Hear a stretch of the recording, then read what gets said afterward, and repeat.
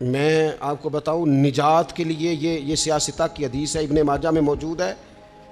ये निजात के लिए इतना बड़ा सरमाया है और आसान नुस्खा है कि उखरवी तौर पर कामयाबी, यानी गुनाह और गलतियों के बावजूद अल्लाह दार गुजर कर दे, कामयाबी हो जाए। नबी पाक सलाम ने फरमाया, तू दुनिया में किसी की पर्दा पोशी कर, अल्लाह क़यामत के दिन तेरी पर्दा पोशी कर देगा। पता है इसका माना क्या है? ऐब खोले बगैर ही रब क़यामत में माफ़ी अता कर दे। इससे बड़ा सहारा है कोई? सिर्फ़ इतना करो पढ़ते पढ़ते ही रहने दो। बड़ा शौक है लोगों को टो में पढ़ने का, जसूसी करने का, खबर लेने का। अच्छा जो खबर लेनी चाहिए वो नहीं लेते। मोहल्ले में किसकी हरकतें गलत है वो सबको पता है, लेकिन भूखा कौन कौन है? बिल किस किस का आया है और परेशान है, ये नहीं पता। किसके बच्चे की स्कूल की फ़ीस नहीं गई, ये नहीं पता। बाकी गलत कौन कौन है माजला सारा पता रखते हैं। पर्दा पोशी अल्लाह का बंदा पर्दा पोश होता है।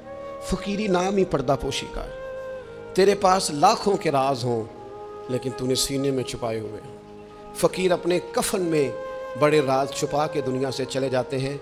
वो राज खोला।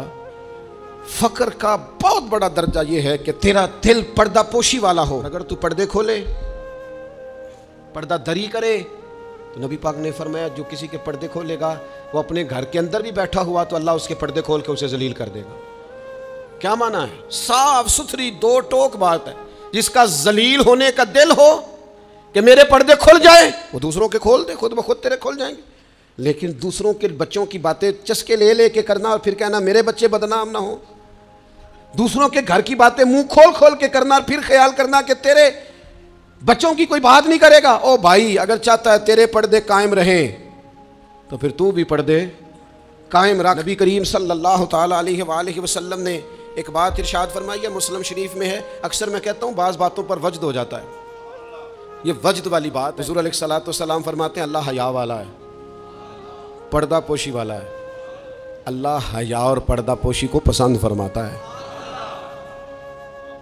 अल्लाह हया वाला है। पर्दे डालने वाला, हया और पर्दा पोशी को अल्लाह। जो रब का पसंदीदा बनना चाहे, एक तो हया करे और दूसरा पर्दे डाले।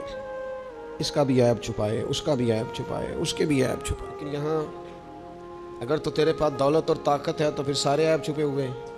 और अगर बंदा माड़ा है, गरीब है तो फिर खोल खोल के मुँह बातें हो रही मेरी गुर्बत ने किया मुझको ज़माने में बदनाम, तेरी दौलत ने तेरे ऐब छुपा रखे।